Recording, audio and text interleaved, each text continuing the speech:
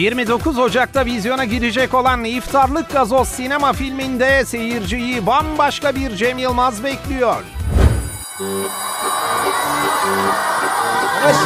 Yavaş lan yavaş. Yavaş. Dur. Dur. Bakayım. Al bakayım. Gazoz içenin kafası çalışacak.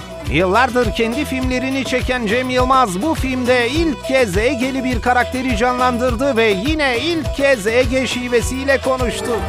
Portakallı, limonlu, mandalinli. At gazoz, kara gazoz. Limonlu mandalinli sade. Sen oğlunu çek versene bana. Ne akıllı çocuk. Ya bu oğlan bugün iftardan aldı ya. E bana öylesi lazım. Gazoz.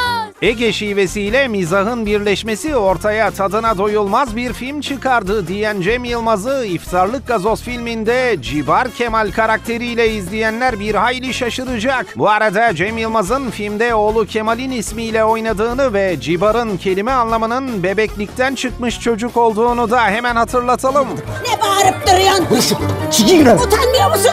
Ramazan günde milletin nefsini gıdıklamaya sen Senin nefsini gıdıklayan gıdıklamış zaten. ne diyorsun sen? Kalk, kalk, kalk. Gör. Gazozcu.